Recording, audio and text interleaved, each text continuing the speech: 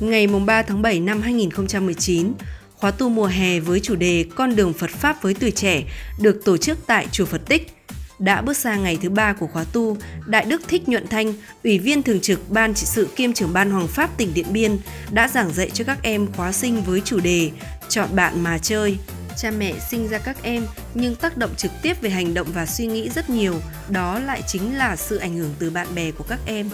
Bên cạnh đó, Đại Đức Giảng Sư cũng đã dạy cho các em những bài hát bổ ích bằng tiếng Anh, những bài dân vũ vui tươi tại khóa tu giúp tạo nên hứng thú và hấp dẫn trong những ngày tu học tiếp theo.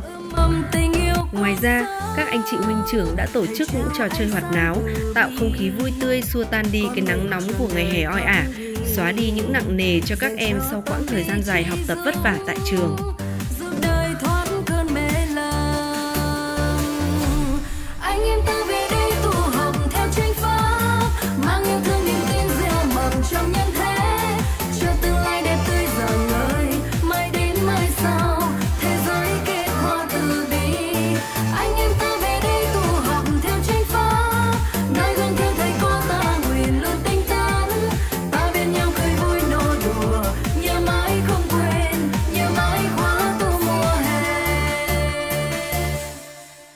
Tiếng chuông vang lên báo hiệu cho giờ cơm đã đến, các khóa sinh đi từng hàng ngay ngắn, dùng những phần cơm trong thanh tịnh và an lạc.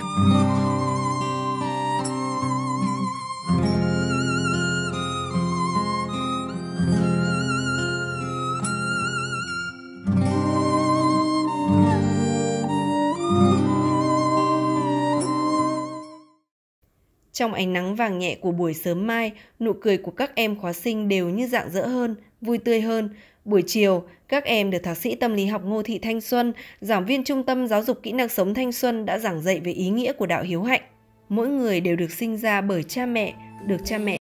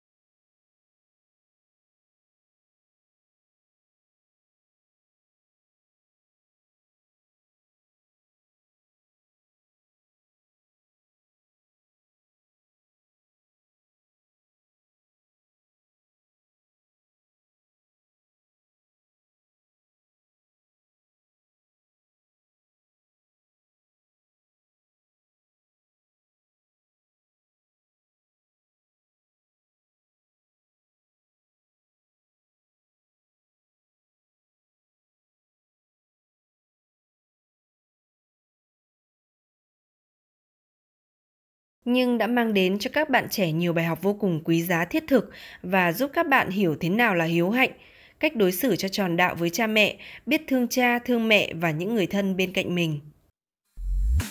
Chiều cùng ngày trong thời khóa tu tập ngày thứ ba của khóa tu, quý thầy đã tổ chức những cuộc thi tập thể cho các em, mong cho các em học được tính đoàn kết để thành công trong mọi công việc. Nụ cười trên môi các em làm ấm lòng những người trong ban tổ chức và đặc biệt là quý thầy trong khóa tu.